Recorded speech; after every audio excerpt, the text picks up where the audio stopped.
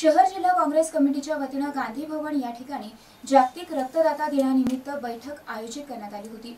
या बैठकीमध्ये कोरोनावर मात करण्यासाठी रक्तदान करणाऱ्या कार्यकर्त्यांचे पुष्पगुच्छ देऊन स्वागत करण्यात आलंय. औरंगाबाद शहर जिल्हा काँग्रेस कमिटीच्या वतीनं गांधी भवन या ठिकाणी नामदेवराव पवार यांच्या मार्गदर्शनाखाली मोसिन अहमद कार्याध्यक्ष यांच्या अध्यक्षतेखाली थोर क्रांतिकारी स्वतंत्रता सेनानी स्वर्गीय रामप्रसाद यांच्या जन्मदिनानिमित्त या बैठकीत अभिवादन करण्यात आलं. तसेच भारताचे प्रसिद्ध कवी पंडित आनंद मोहन गुलास देहलवी यांना श्रद्धांजली अर्पण करण्यात आली. कोविड नाईन्टीन या आजारामुळे औरंगाबाद शहराला मोठ्या प्रमाणात रक्ताची आवश्यकता आहे. अशा संकट काळामध्ये काँग्रेस कार्यकर्त्यांनी आपले रक्तदान केले. यामुळे जिल्हा काँग्रेस कमिटीच्या वतीनं जागतिक रक्तदाता दिनानिमित्त पुष्पगुच्छ देऊन त्यांचे स्वागत देखील करण्यात आले. तसेच शहरातील विकलांग नागरिकांना सरकारच्या वतीनं देण्यात आलेल्या सवलतीबद्दल माहिती देखील देण्यात आली. तसेच त्यांना मिळणाऱ्या कर्जाबद्दल माहिती देऊन कर्ज मिळवून देण्याची प्रक्रियेत मदत करण्याचे आश्वासन देखील देण्यात आले. यावेळी काँग्रेस पक्षाच्या पदाधिकाऱ्यांची उपस्थिती होती.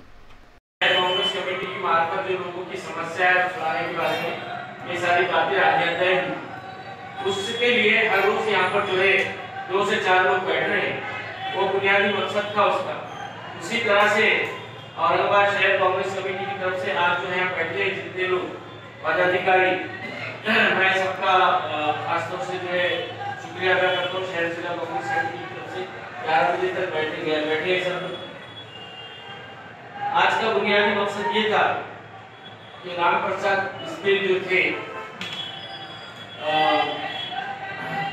क्रांति कारक जो थे और देश की आज़ादी के अंदर जो मुजाहिद आज़ादी जो थे उन्होंने देश को जो आज़ाद करने के अंदर जो बलिदान दिया था उनके यूम पैदाइश का जन्मदिन था वो हम आज यहाँ मनाने जा रहे हैं सब मिलके